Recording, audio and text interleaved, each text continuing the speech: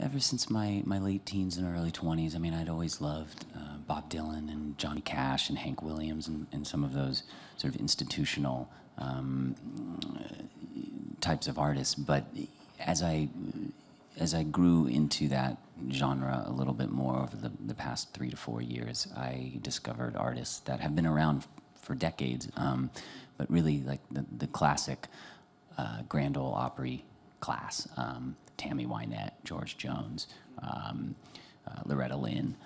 um, folks like that, Don Gibson, Ray Charles country record. There's, um, the, the, the,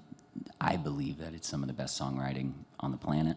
um, over the years, and uh, and it really spoke to me in a in a in a in a serious way, and I felt it sort of. Uh, it absolutely felt like home um, musically very quickly and, and it started to started to come out of, of, of my own self as well.